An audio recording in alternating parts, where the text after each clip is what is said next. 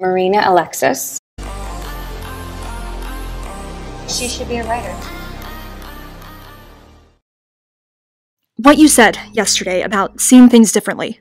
Um, I I went on a date. Well, a, a double date. Actually, it wasn't even Anna. really. Breathe. You were right. Alison is still with us. With me. More than I want. Why more? Our friendship was work. And, and like you had to impress her to make her like you, and and that meant doing things that maybe you didn't feel so good about doing. Sometimes bad things. If it was so hard, why was it so important to be her friend? She could make you feel special. And that seemed worth it then. And now? What would you like to say to Alison? Just that To Alison.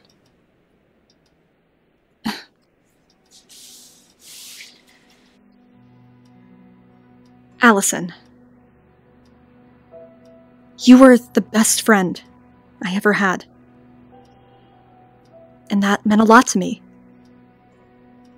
You meant a lot to me. But you were also the worst enemy I ever had. And I can't believe it took me this long to realize that.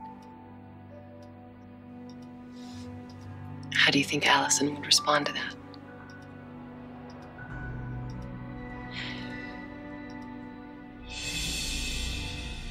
Well, look at you.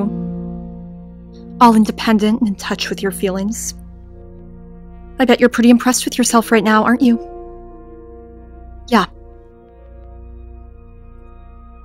Proud of you, Hanna.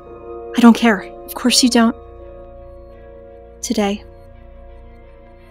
You've got Dr. Dew over there ready to pat you on the back for talking to an empty chair. I don't need her either. Well, you need someone. Low self esteem leads to hefty Hanna.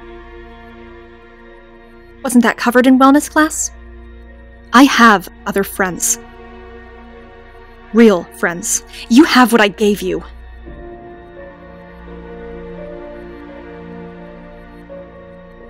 You think your three gal pals will be with you forever, don't you? Newsflash, you're already losing them. They're gonna move on, Hanna. And you're not. And you know who you'll be left with? Me. I'll always be there for you. I'm the only one that can make you happy.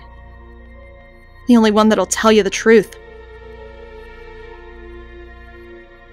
I'm the only one that you can count on.